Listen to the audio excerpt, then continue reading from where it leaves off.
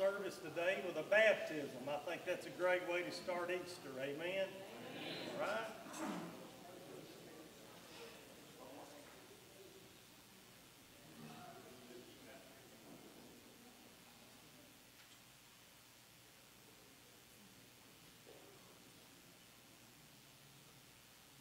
All right, we got Luca Latanzi, and he's here today to follow Lord Believer's baptism. So Luca, have you repented of your sin and by faith put your trust in Jesus Christ as your Lord and Savior? All right, Luca, based on your profession of faith in Jesus Christ as your Lord and Savior, I baptize you, my brother, in the name of the Father, the Son, and the Holy Spirit, buried in his likeness, raised to walk in unity of life.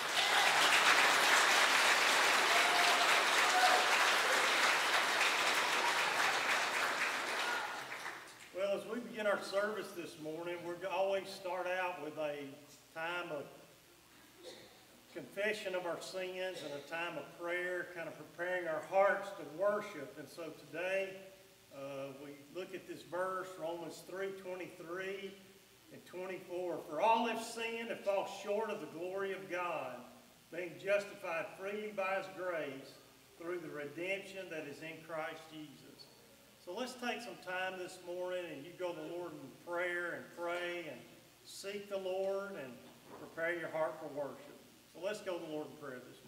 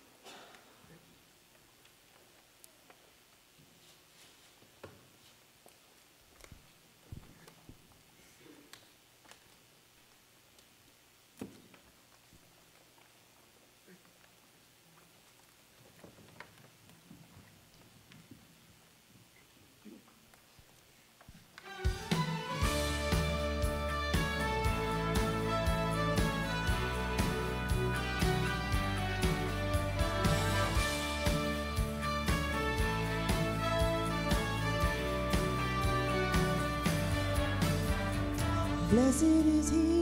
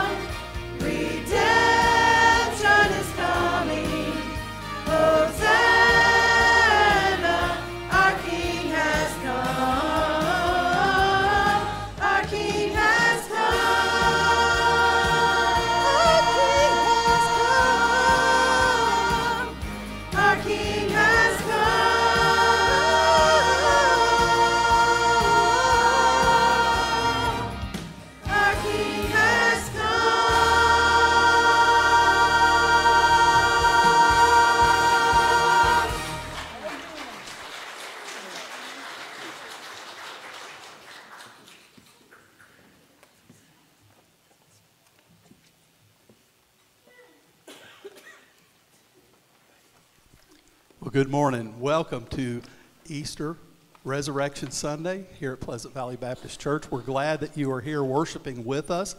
We'd like to welcome you here. In just a moment, Brother Jason's going to come and do a prayer.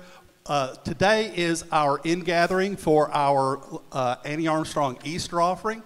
And if you're prepared to do that, we will do that while the choir sings the next song. So Jason will come and pray, and you can bring your offering and put them in the plates, not the box, uh, while the choir is singing the first song. So, Brother Jason, if you'll come and lead us in prayer. Let's pray. Lord, thank you for this time that we have together this morning to come together publicly and openly to worship you. God, I pr- pray that you would preserve that in our country so that we can continue to do this together. And God, I pray that as uh, this service goes on today, that you would be honored, that you would be glorified, that your word would go out and accomplish what it was sent to do. God, I pray that hearts would be softened and turned to you. God, I pray that lives would be changed, decisions would be made today, Lord God, that would change the course of the history of someone's life, God. God, I pray that as we sing this morning and as we uh, listen to the word being proclaimed, that we would lift you up, that you would be honored and glorified. God, I thank you for what we celebrate today the life and resurrection that uh, you obtained, God, that you are uh, giving to us a opportunity for eternal life, God. And God, I pray that you would give us the power to take hold of that. But we don't just thank you for your resurrection, God. But we thank you for leaving a perfect heaven on a throne to come down to an imperfect world full of sin and temptation and live a perfect life and impute that righteousness to us undeserving sinners. God, we thank you for that. God, I pray that the offerings that are taken up today would further your kingdom all around the world. And we thank you for it in the name of Jesus. Amen.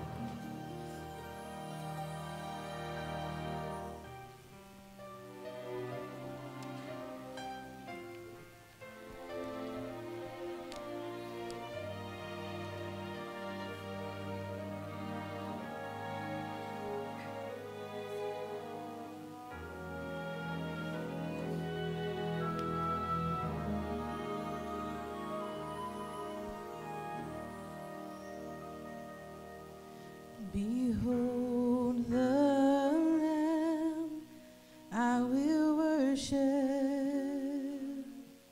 seated high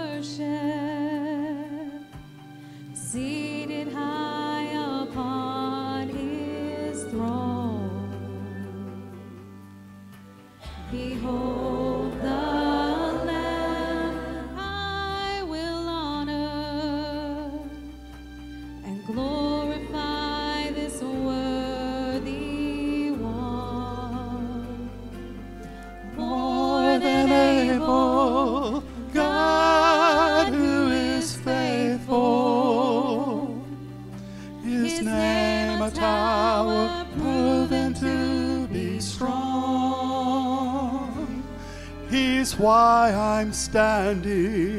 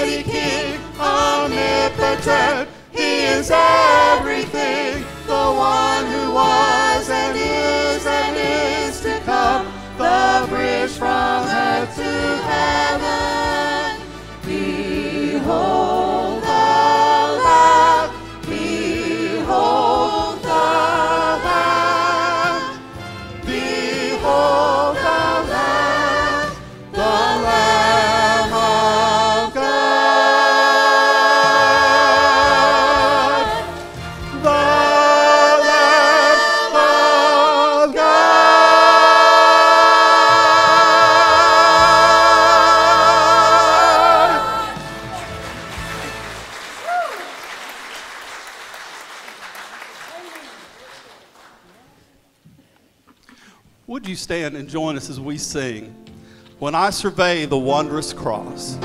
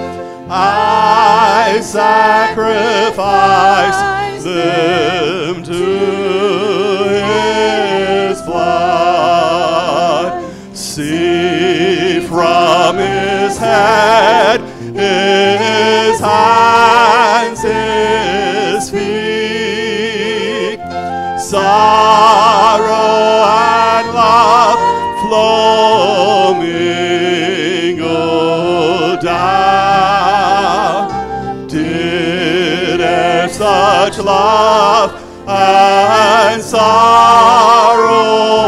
meet. Poor thorns compose so rich a crown. Word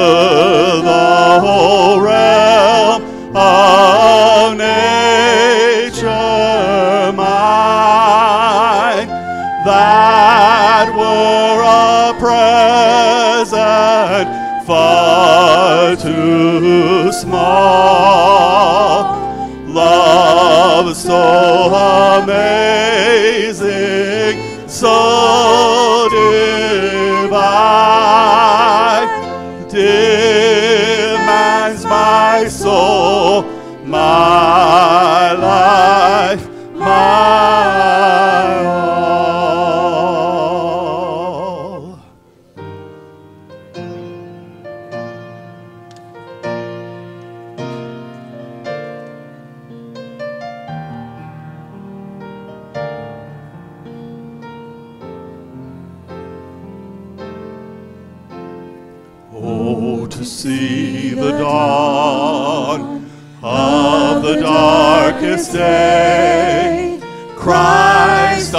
the road to Calvary. Tried by sinful men, torn and beaten there, nailed to a cross of wood. This the power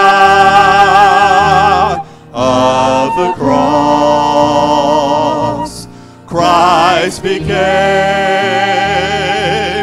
sin for us, took the blame,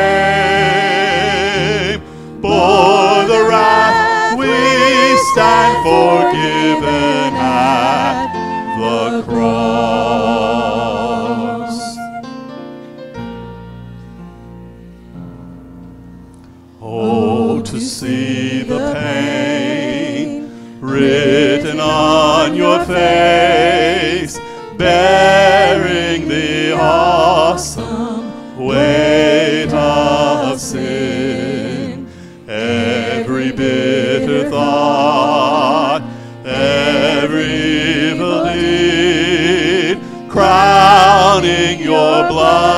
chastened brow. This the path of the cross. Christ became sin for us. He took the blame. He bore the wrath. We stand forgiven at cross.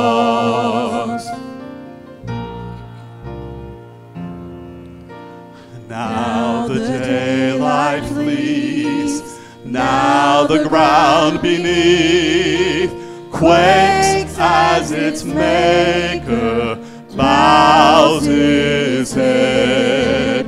Curtain torn in two, dead are raised to life. Finished the victory cry. This the power of the cross. Christ became sin for us. He took the blame. He bore the wrath. We stand forgiven the cross. Oh, to see my name written in the wounds, for through your suffering I am free. Death is crushed to death, life is mine to live. What through your selfless love. This the power of the cross, Son of God, slain for us. What a love, what a cost, we stand forgiven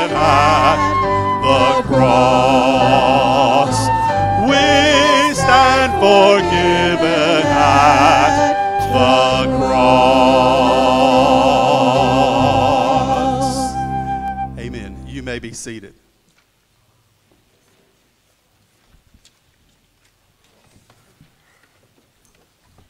Let's pray for our time of offering. Lord, thank you so much for the cross. Thank you for the resurrection.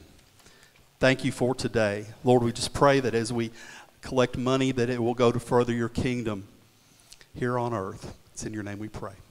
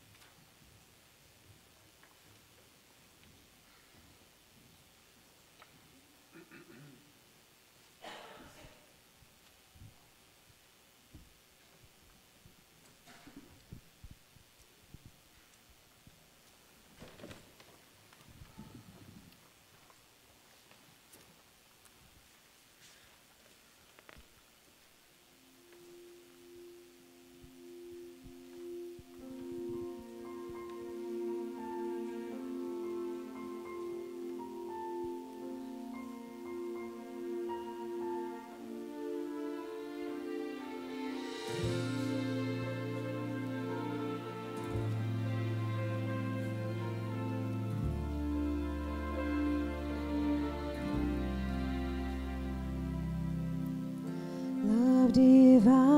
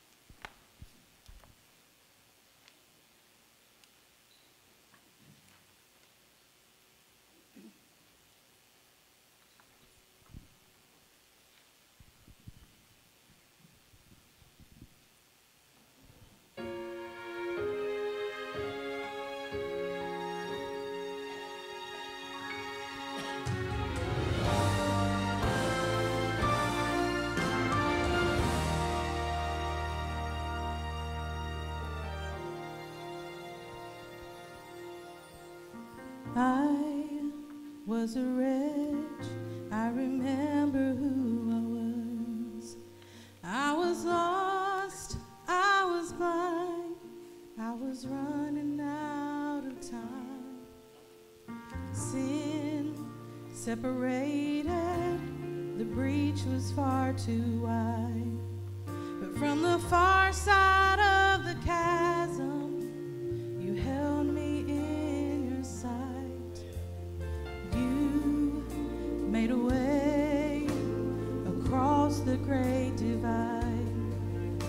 left behind.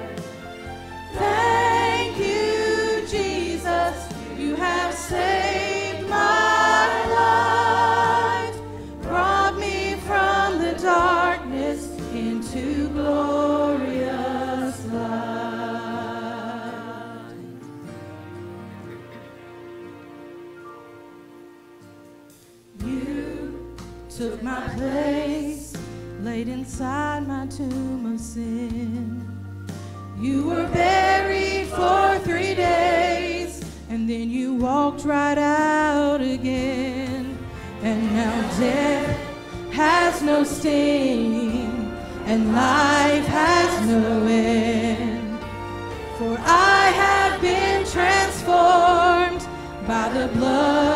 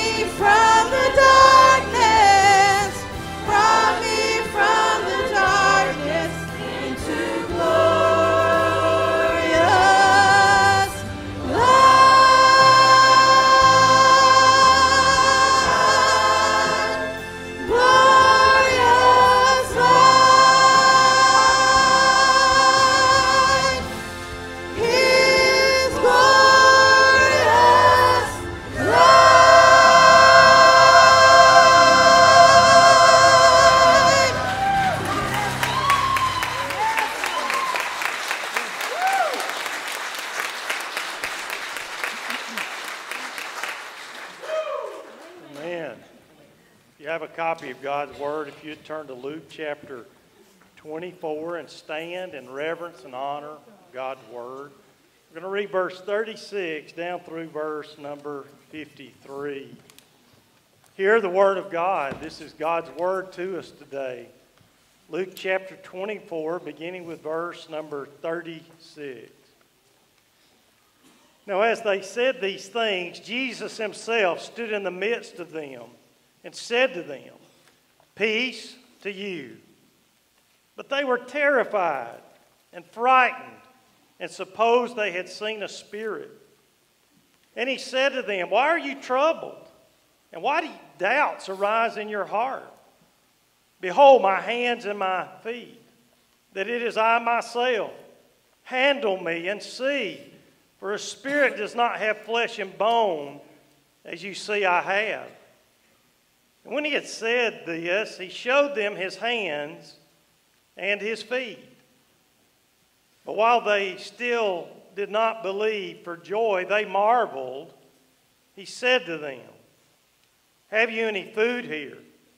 So they gave him a piece of broiled fish and some honeycomb, and he took it and ate it in their presence. Then he said to them, these are the words which I spoke to you while I was still with you, that all things must be fulfilled which were written in the law of Moses and the prophets and the Psalms concerning me. And he opened their understanding that they might comprehend the scriptures. And then he said to them, Thus it is written, and thus it was necessary for the Christ to suffer and to rise from the dead the third day, and that repentance and remission of sin should be preached in his name to all nations, beginning at Jerusalem. And you are witnesses of these things. Behold, I send the promise of my Father upon you, but tarry in the city of Jerusalem until you are endued with power from on high. And he led them out as far as Bethany and lifted up his hands and blessed them. Now it came to pass while he blessed them that he was parted from them and carried up into heaven. And they worshiped him and returned to Jerusalem with great joy and were continuing in the temple, praising and blessing God. Amen. May God bless the reading of his word. You may be seated.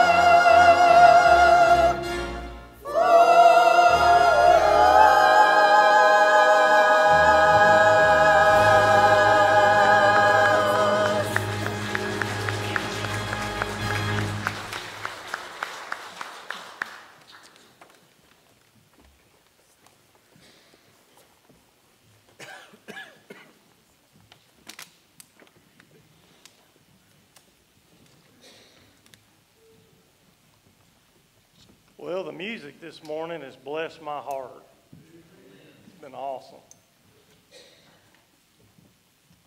You've heard enough gospel already this morning to repent and believe the gospel. You're here today and you don't know Christ and you've never repented and believed. You've heard enough gospel through song to hear the message and the truth. This morning, I want to preach on the resurrection changes everything.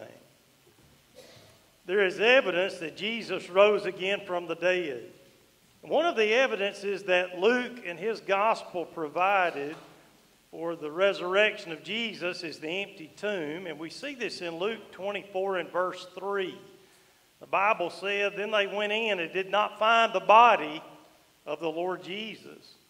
The first evidence. The second evidence was the angelic announcement in verse 4 through 6 of this same chapter. It says, And it happened as they were greatly perplexed about this, that behold, two men stood by them in shining garments.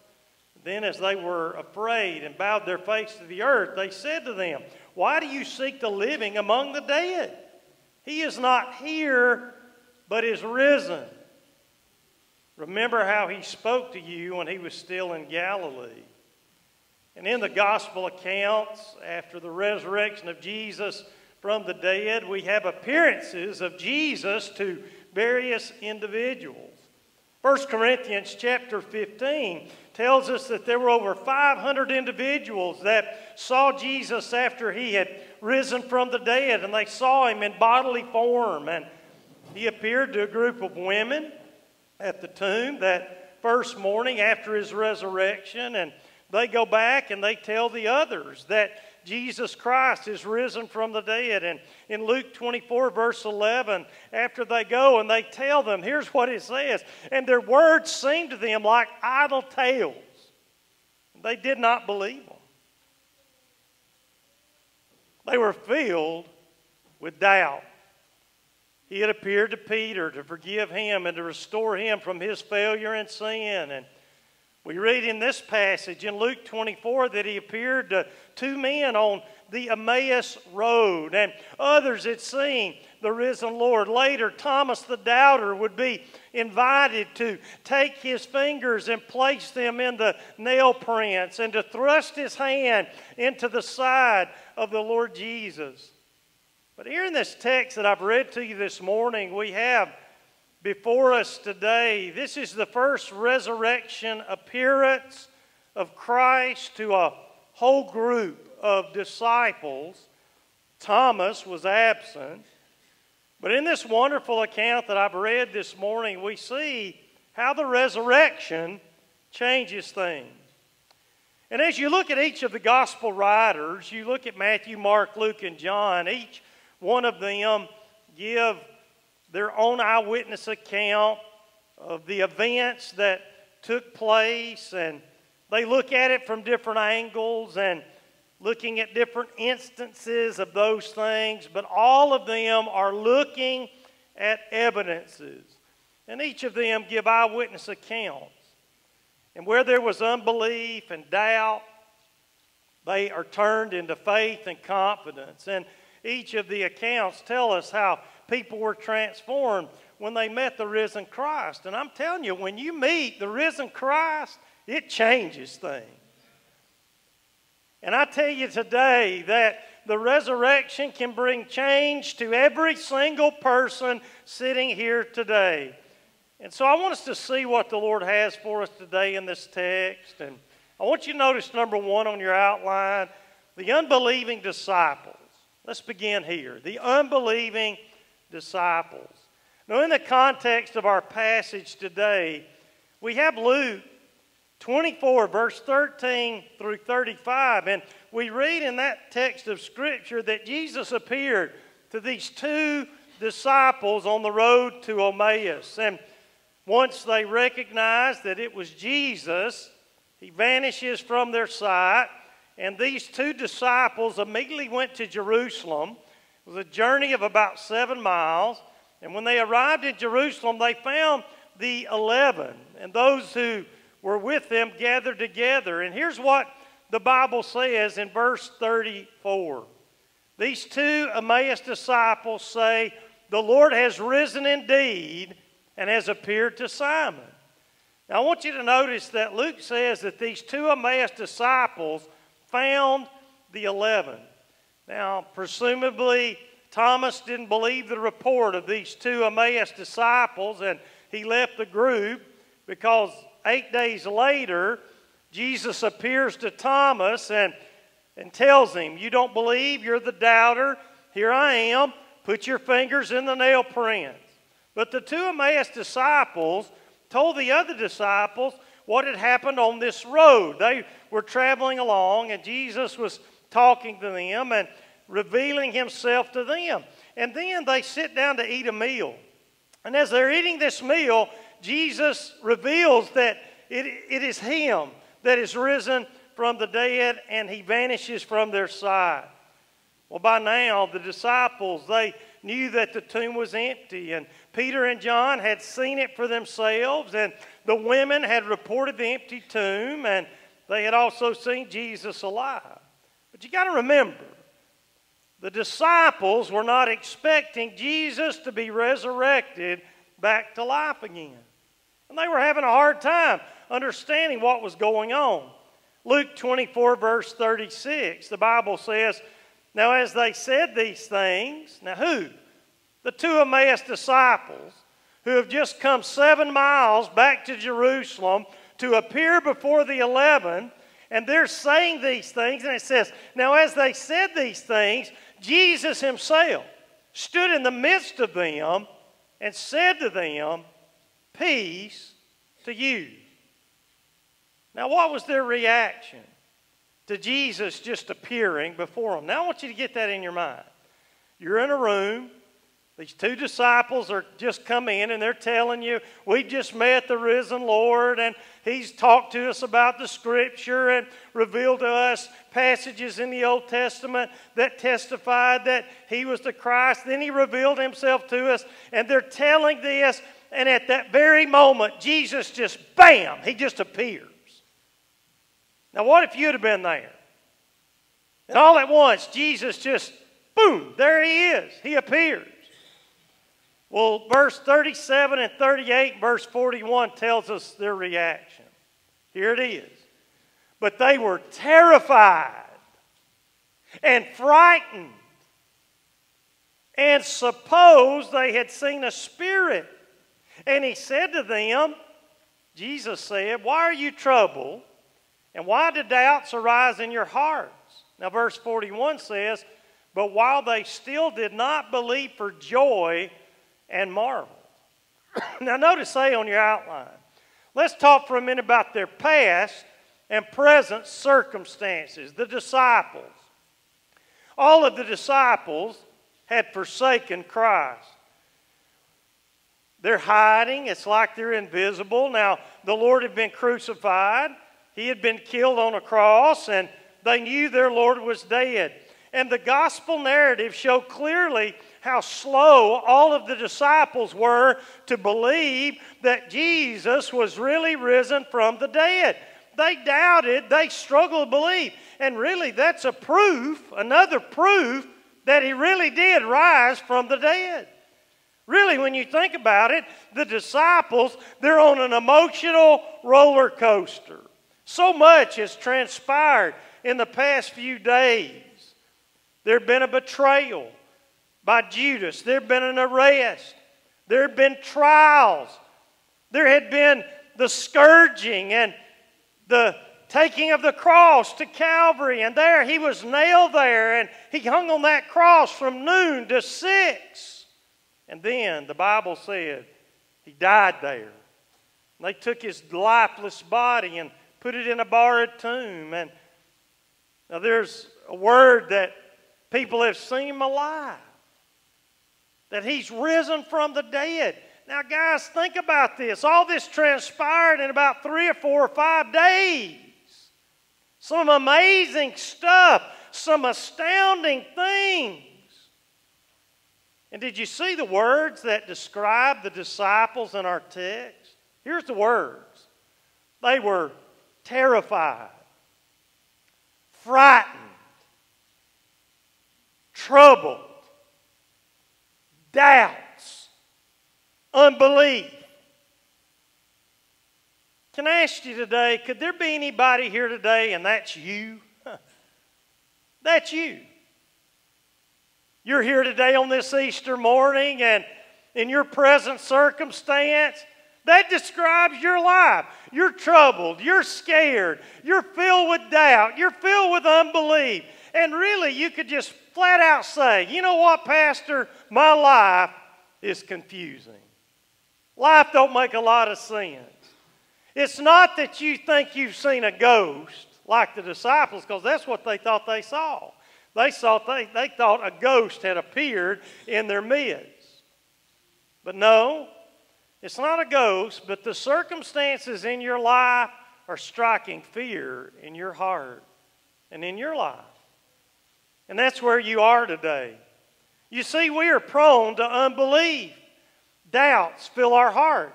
Darrell Bock said about the disciples in his commentary, he said, They do not expect Jesus to be raised, nor do they expect him to keep appearing. As with most people, they have to be persuaded. The disciples are as skeptical as the rest of humanity. And so the disciples, we see the unbelief of the disciples. But I want you to notice number two in your outline. I want you to see the understanding Lord. We've got the unbelieving disciples, but then we have the understanding Lord. And I want you to see this truth. The resurrected Christ changes things by bringing peace. Notice, say on your outline, he speaks encouragement. Verse number 36. Now, as they said these things, Jesus himself stood in the midst of them and said to them, Peace to you. I believe that's a perfect picture of every Lord's Day from the very first one on that resurrection morning until today. The living Christ stands in the midst of his people and he says to them, Peace to you. I mean, here was Peter who had denied the Lord three times. Other disciples had run away, shamefully forsaking him, leaving him alone in the hands of the vicious temple guard. They're hiding, they're cowering, they're denying him. And all the apostles had broken their promise. They had told Christ, We will never forsake you, we will never leave you, we'll go with you all the way to death.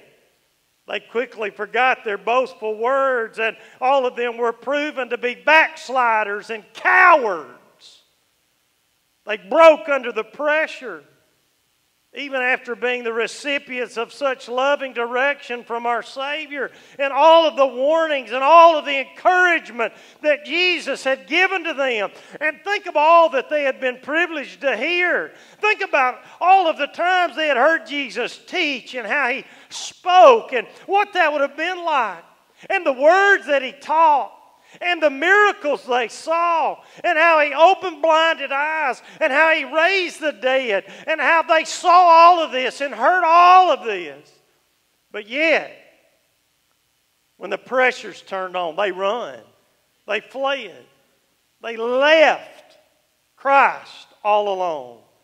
They forgot all that he had spoken to them about his death. He had told them, I'm going to die. I'm going to be betrayed. I'm going to go to a cross, but I'm going to rise again.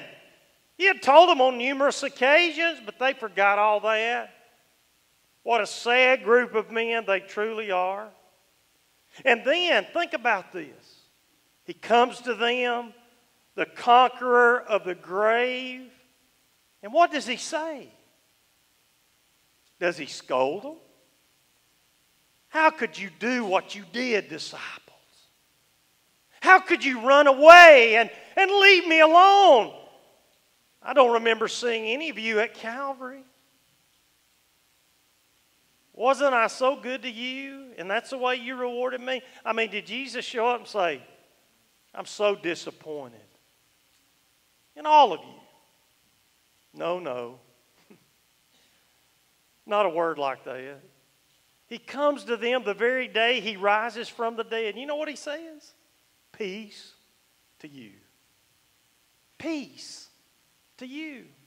He speaks of reconciliation and pardoning mercy. You see, our Savior is filled with grace and forgiveness. And I say today, oh, what a Savior! He is so marvelous and so wonderful, you know, because He deals with us gently. Oh, we fail. And He doesn't come shaming, He comes with grace. Even though He knows us, He knows our past, He knows our sin, He knows our failure, and He still comes with peace and forgiveness. You see, that is the grace of our Lord Jesus Christ. And when we least deserve it, and when we most deserve His rebuke, He comes with peace. He speaks of peace with God through Him. And that is His delight to show mercy. Can I tell you today, Jesus Christ is rich in mercy. Mercy. He is far more willing to remember our sins no more than we are willing to ask Him to do that. He is more ready to pardon than we are willing to acknowledge our need for pardon. There is immeasurable willingness in His heart to forgive, some for and some more, but He never stops forgiving. Isn't that awesome that all of our lives, no matter how many times we sin and fail, there's forgiveness? And He comes speaking peace. He will forgive our failure, our faithfulness, our faithlessness, our sin, no matter how ugly it is, how dark it is, how foul it is. And you know what? He will forgive repeated sins. I'm a recipient of that. Yeah, we fail him and we fail him again, and we come to him and he forgives again. And I tell you this, and somebody here today, you might need to hear this just as clear as a bell. God's speaking to you. He can forgive the most terrible sin. You might be here and you say, Oh, you don't know my sin. You don't know all of my sin and how deep my sin is. You struggle because you believe your sin is too great. It is not too great for Christ. It is not too great for His blood to cleanse. Listen, when the risen Christ comes to us and we have fears and doubts and failures and sin, I tell you how He comes today. He comes speaking peace. That's what the Lord's saying to us this morning. He's saying, Peace to you. You troubled today, your life all confused, your heart full of emptiness. You don't know why you're here, you don't know what life holds. There are so many people in our world that way. There are so many people, they're hopeless. They have no hope. They have no hope. But I'm telling you today, if that's you, Jesus comes and he says, Peace be to you. I think about J.C. Ryle as I read and studied for this message. He speaks about his peace the Lord imparts to us. He says about this text, he says, Quote, it seems to me to be full of deep and comfortable truth. It implied that the great battle was fought and the great victory won over the prince of this world and peace with God obtained for man according to the old promise. It implied that our Lord came to his disciples with peaceful, gracious, and forgiving feelings and no, with no resentment for them having forsaken him. Notice B on your outline. Not only this, but he shows them evidence in their presence. Look at verse 39 and 40. Look at what the Bible said. He said, Behold my hands and my feet, that it is I myself. You say, why would he do that? They thought they saw a ghost. And he said, Oh no, I'm not a ghost. I'm Jesus, and I'm risen from the dead. Behold my hands and my feet, that it is I myself. Handle and see me. For a spirit, a ghost, does not have flesh and bone as you see I have. And when he said this, he showed them his hand and his feet. You see, if we are struggling with doubts and fears and hopelessness, just like these disciples, do you know what we need? We need a clearer view of who Jesus really is. A clearer view. And I mean, I see in this text there's a direct appeal to two senses. Jesus talks about touch and sight. And all of them are commanded here in the aorist imperative and is calling for an immediate response. Jesus showed them evidence that demanded a verdict. He died, but now he's alive and he's healed and he's got imprints on his hands and feet, marking the covenant for which he cut with all who enter the new covenant by grace through faith. You see, Jesus has those perpetual scars on his hand and his feet and his side to assure us that he who died on that cross is the same Jesus who has risen from the dead for our justification.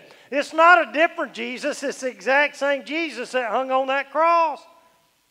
And what he's saying to them is look at me. I'm not a ghost, I'm not a spirit, I'm real. Touch me. See me, feel me, handle me. It's really me. And his wounds assure us of his great love, that he, the eternal Son of God, would endure such abuse for us. His wounds also remind us of a fact that without the shedding of blood, there's no remission of sin. Thank God for his blood. The choir sung it so beautifully today. He bore our sins in his body on the cross. And what he's saying to the disciples is, Peace be unto you. Don't be afraid. It is not a ghost. I am real, and I'm the one who was crucified for you. Now, notice C. Here's further proof. He engages in a meal with them. Look at verse number 41 through 43. It says, verse 41, But while they still did not believe for joy, now, I mean, they're still having doubts and struggles. I mean, here he is. He's spoken peace to them. He said, Look at my hands. It is me. Here's my feet. Look, see me, touch me. Come, handle me. They still didn't believe, but they've got joy and they marveled. And here's what he said to them Have you any food here? Verse 42 So they gave him a piece of broiled fish and some honeycomb, and he took it and ate it in their presence. I mean, literal physical food to a literal physical Jesus. That's the point.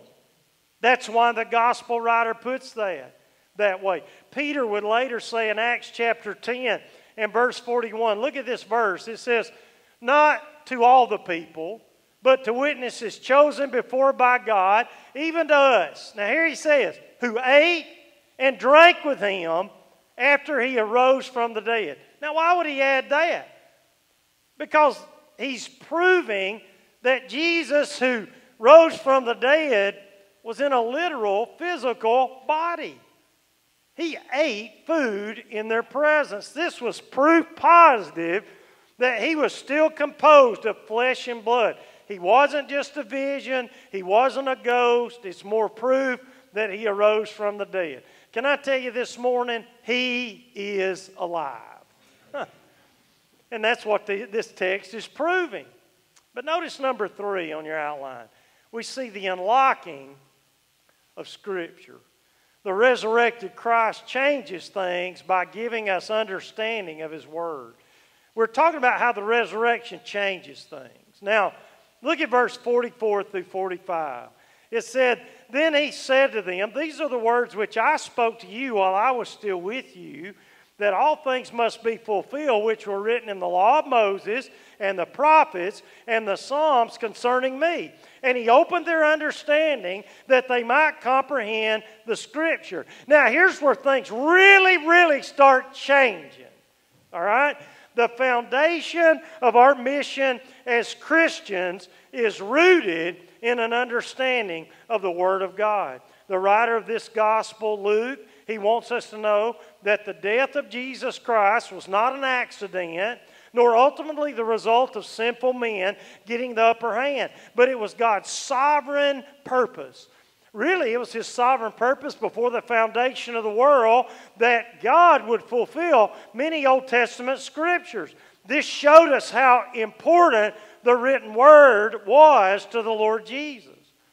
Do you realize this is the only biblical reference to the three divisions of the Old Testament in all of the Bible? Usually it talks about Moses and the prophets, but here he says Moses, the prophets, and the Psalms. Three different divisions. This more thorough division emphasizes that every part of God's revelation points to Jesus Christ, suffering for our sin, rising triumphantly from the dead to reign in power and in glory.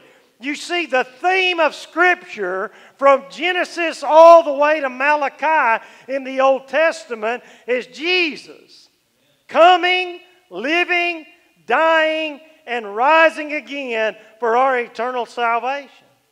The Word of God is settled, and these men were not free to make up their own ideas and their own message. No, they were witnesses to these things, and that is why Jesus is referring to the Word of God. And that's a truth we need to understand. So important today. You can't modify the message. Now, there's a lot of people trying to modify it, but man is a sinner, and man needs a Savior, and God provided that Savior in the person, work, death, and resurrection of Jesus Christ, God's only begotten Son. And He is the way, the truth, and the life. That is the message of this book from cover to cover. And we must proclaim it. We cannot modify the message. Another truth we see here is that we cannot understand the Word of God unless God enables us to see it and to understand it. Did you see what it said? The Bible said He opened their understanding that they might comprehend the Scripture. This shows us the deity of Christ. He had the power to open up man's mind I mean, think about that to understand what before was hidden, what couldn't be grasped. You see, the Bible reveals to us things that are supernaturally discerned. Look, I'll be honest with you. If you're here today and you've never repented and you've never believed and you've never put your faith and trust in Jesus Christ as your Lord and Savior, what I'm saying today don't make a whole lot of sense to you. You can't understand it. Yeah, you can understand the basic facts and you can say, hey, that guy's saying some things and I grasp that truth and I understand what he's saying, but it don't really mean anything to you because the Lord Jesus Christ has to open up your heart to understand the Word of God. You see, guys, that's why we don't need clever salesmanship. We don't need gimmicks. We don't need uh, somebody to manipulate people to make a decision for Christ. Because listen, if any man is saved, it'll be because God opened his heart. God opened his mind to understand the glories of the gospel. You see, people need light. And the scripture tells us that God's word is a light Uh, unto our path. Now, as a preacher of the gospel, I cast the light of the word on sinners' darkened understanding. I mean, as I preach today, you know what I'm shining forth? Light. Light is being shined in your heart and on your life. But let me tell you something. I can shine that light till I'm blue in the face. But there's something more needed. Something more. Let me illustrate like this. Suppose I went late this afternoon down to downtown Waycross, and I was walking down the street, and there was a man there, and he was blind. And you could tell he was blind because he had a dog leading him. And it's at the end of the day, and it's getting kind of dusky dark. And I mean, do I think to myself, well, that poor blind guy, tomorrow it will be better because the sun's going to rise and there'll be more light and then he'll be able to see better. I mean, is that going to help that guy? No. You know why? Because he's blind. I don't care how much light you give him, he's blind. You know what he needs? He needs sight. And you see, I can shine the light today through the preaching of the Word of God on your heart. But I'm telling you, if you're blind, you can't see it. You know what God's got to do? God has got to open up your mind and your heart. And that is the way it was for these disciples. They had the light of Jesus' teaching. They had lived with him for three years. He had told them over and over and over again I'm going to be betrayed. I'm going to a cross. I'm going to be put in a tomb. I'm going to rise again from the dead. But it was like, whoosh, whoosh, whoosh, straight over their heads. You see, something else was needed. They needed sight. Don't we sing that great hymn, Amazing Grace? And you know what it says? Amazing Grace. It says, I once was blind, but now I That's what I'm talking about. And that's what God is doing. He opened their understanding that they might comprehend the Scripture. And that's exactly what we see in this text. I cannot give you sight. I cannot open your mind. I am utterly helpless to do that. Yet, as men of God proclaim the truth, the Lord makes things clearer. He opens up our understanding and things begin to make sense. And there may be people, I mean, think about it. They've heard the Christian message for years, ever since they were little small children. They've heard it, and they've heard it, and they've heard it, but it didn't move them. It didn't change their life. It didn't make any sense to them. And then what happens? The light comes on. Their blinded eyes are open and they can see. How do you explain that? Other than our minds were sovereignly opened by the Lord. It's just what happened to Lydia in the book of Acts. Look at this verse in Acts. It says, Acts 16 14. Now, a certain woman named Lydia heard us. Heard what? Heard the preaching of the gospel, heard the truth. She was a seller of purple from the city of Thyatira who worshiped God. Now, notice what it says. The Lord opened her heart to heed the things spoken by Paul. May the resurrected Christ do that today in somebody's life. I can't open your heart. And really, to be honest, when you hear the Word of God taught, you might understand what I'm saying, but it don't really mean anything to you. It's like, well, that was a nice sermon, and man, that guy communicated well, and that was, uh, that was nice. but yet it don't transform your life. No, it takes God opening your heart. and may God do that today. Notice number four, the unchanging gospel, verse 46 through 47. The risen Christ changes things by entrusting the proclamation of the gospel to us. 46 through 48. Then he said to them, Thus it is written, and thus it was necessary for Christ to suffer and to rise from the dead the third day, that repentance and remission of sins should be preached in his name to all nations, beginning at Jerusalem, and you are witnesses of these things. Now, notice say on your outline, the scriptures are true. I mean, did you notice what Jesus said there in the text? Our Lord here it says everything that needs to be said to sum up the essence of the gospel. This is God's eternal plan since the foundation of the world. And I love it because Jesus believed the written word. They had the Old Testament, and notice what he said. He said, Thus it is written. Thus it is written. You say, what is he saying? He's saying that, look, God has spoken, God has revealed himself through the Word of God. And that's the Lord Jesus speaking.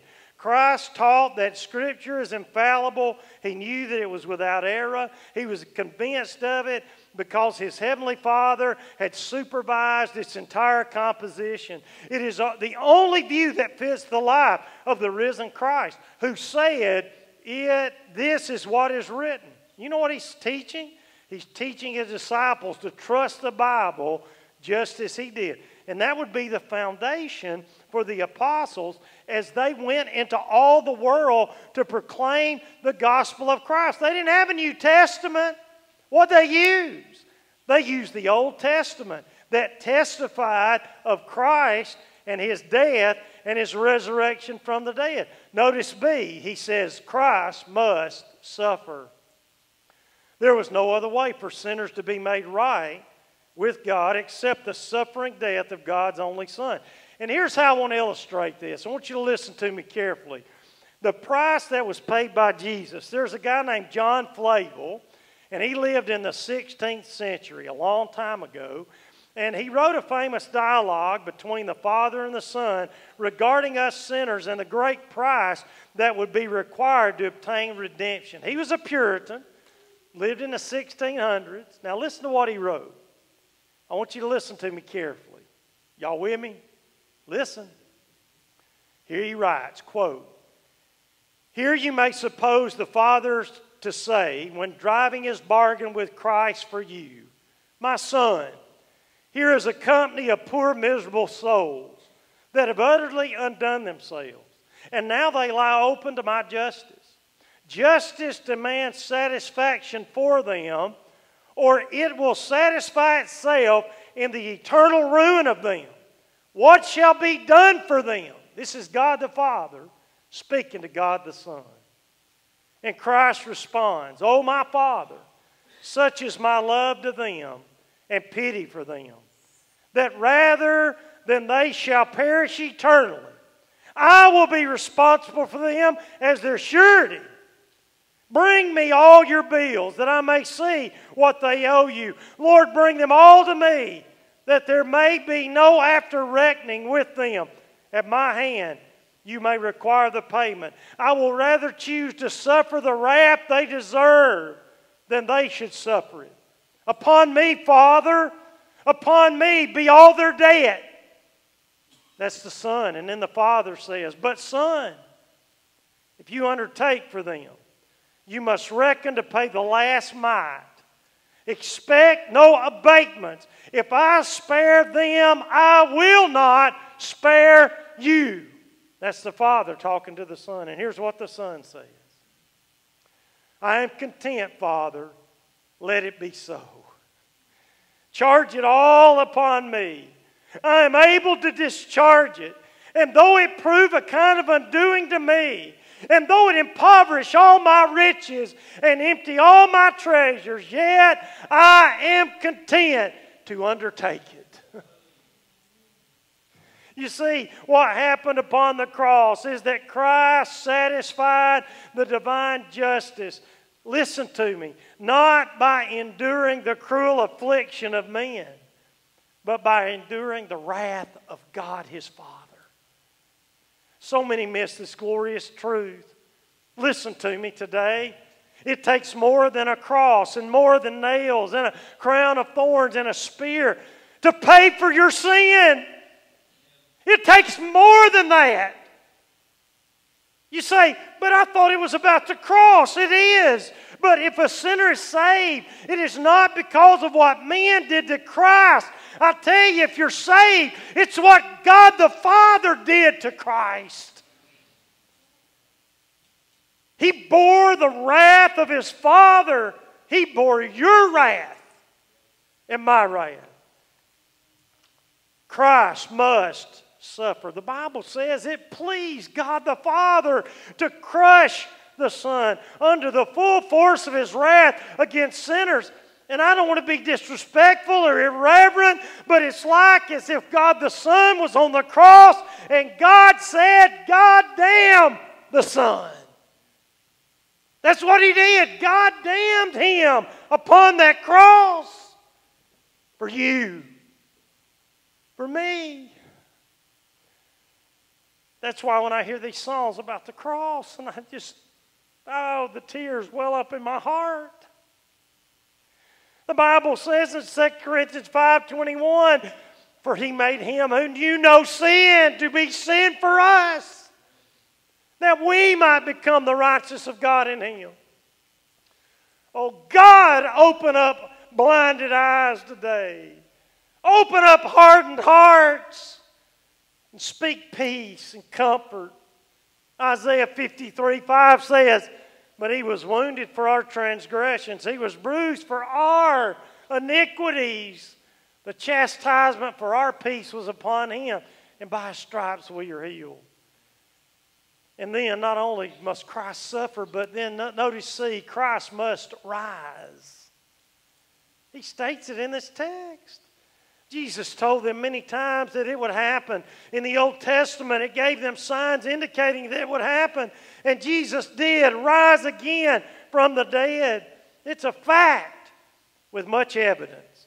You might be here today you well, I don't believe Jesus really rose from the dead. Nobody rises from the dead.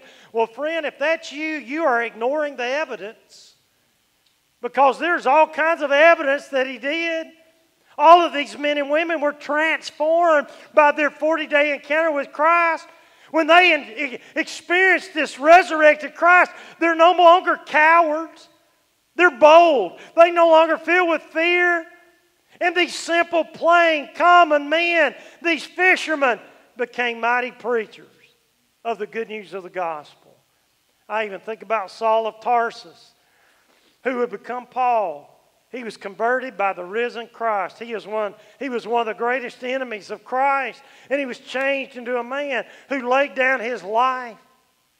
And there are millions upon millions of people throughout church history who have become Christians because they have known the power of his resurrection. It is totally inconceivable that Jesus Christ did not rise from the dead. You say, well, how do you know he's alive? I'll tell you how I know he's alive because he lives in me. He lives in me. I know He's alive. And there's millions of people who've experienced His transforming power.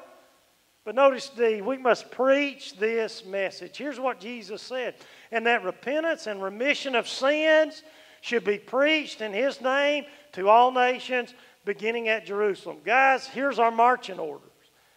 Disciples will be called to preach. And they begin to fulfill this call in Acts 2. And ever since, we've been proclaiming the gospel of Jesus Christ to the world.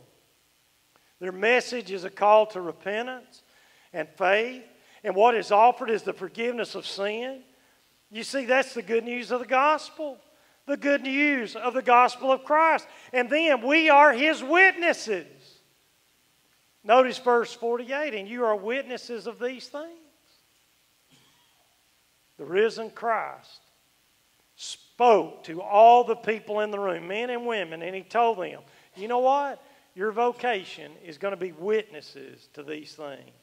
To bear witness of what? The cross, the resurrection from the dead, to bear witness for the need of repentance and faith, the gospel.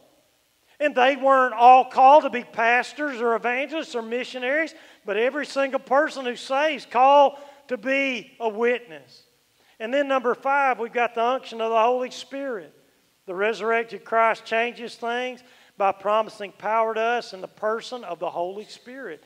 Look at verse 49. Behold, I send the promise of my Father upon you, but tarry in the city of Jerusalem until you are endued with power on high. And what reassurance did he give them? I mean, he's about to go away, he's about to ascend to the Father. He would provide the person of the Holy Spirit, the Comforter, to indwell them and to be with them. Do you remember what Jesus said in John 14? Here's what Jesus said to them, verse 16 through 18. Jesus said, And I will pray the Father, and he will give you another helper, that he may abide with you forever. The Spirit of truth, whom the world cannot receive, because it neither sees him or knows him, but you know him, for he dwells with you and will be with you I will not leave you orphans. I will come to you. So if you're saved, the Holy Spirit indwells you. But here's how I want to conclude. My conclusion today is the very last point. And I want us to see the last thing the unstoppable disciples. Look at verse 50 through 53. and he led them out as far as Bethany And he lifted up his hands and blessed them. Now it came to pass, while he blessed them, that he was parted from them and carried up into heaven. And they worshiped him, returning to Jerusalem with great joy, and were continuing in the temple, praising and blessing God. Amen. You see, we have a mission, church. We have the Holy Spirit, and we need to get busy taking the gospel to all people. because Jesus transforms lives for his glory and honor. And I love this because at the beginning of the passage, what do we see?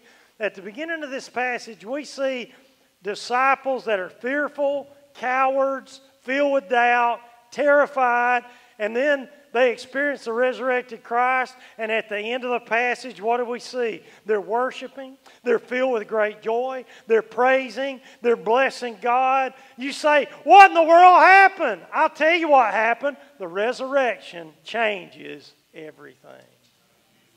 And you know what? Can I ask you this?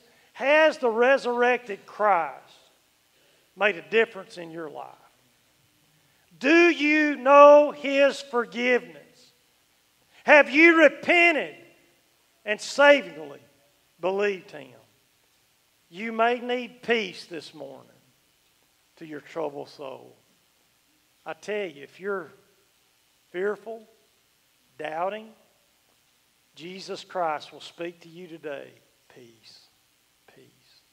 May God today open up hearts and minds to receive the truth because He's the only one who can do it. Let's pray. Father, thank you for your word today. Thank you for this passage that shows us very clearly how the resurrection changes everything. And Lord, it can change lives today to those who are willing to come to you in repentance and faith. And Lord, if there's anybody sitting in this building today and they've never done that, they've never repented of their sin and by faith trusted you, may today be the day of their salvation. God, may you speak. May you work. May you open up hearts and minds to receive your truth. In Christ's name we pray. Amen. Let's stand.